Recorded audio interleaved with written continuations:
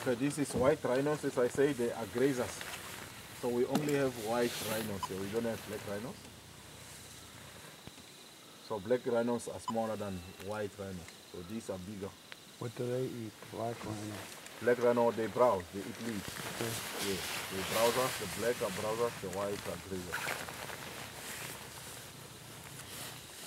They have a lifespan of around 50 years. They can live up to 50 years. So the, the big one can weigh up to around um, 3.2 tons.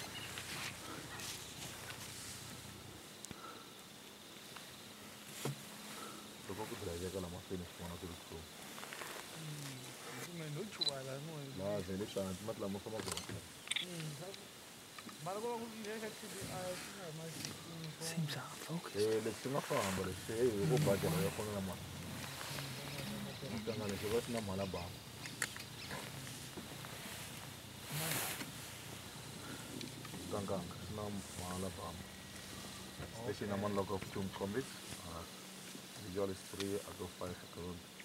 don't easy to identify them just west of the river only myself enough